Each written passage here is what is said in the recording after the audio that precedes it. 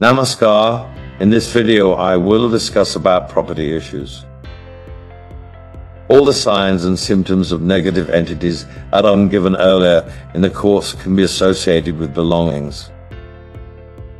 There are also some conditions and problems specific to belongings as well as deserving of discussion. The traditional signs of possession are unforeseeable actions, mood swings, endangering environments, tendencies towards violence, desire, greed, a need to control as well as control, as well as unnatural powers of persuasion.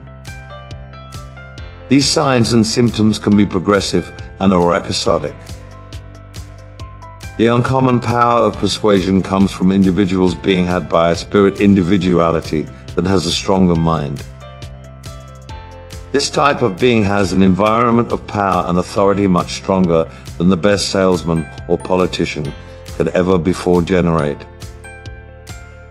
For the most part, people are not mindful they are had, particularly if this condition has existed given that youth. Individuals come to be acclimatized to negative entities' controls.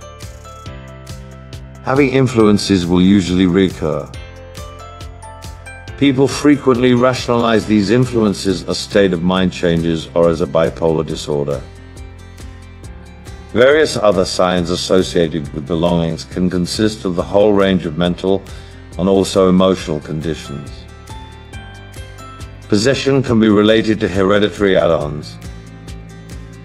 And negative entities might come down via family lines and possess at-risk family members.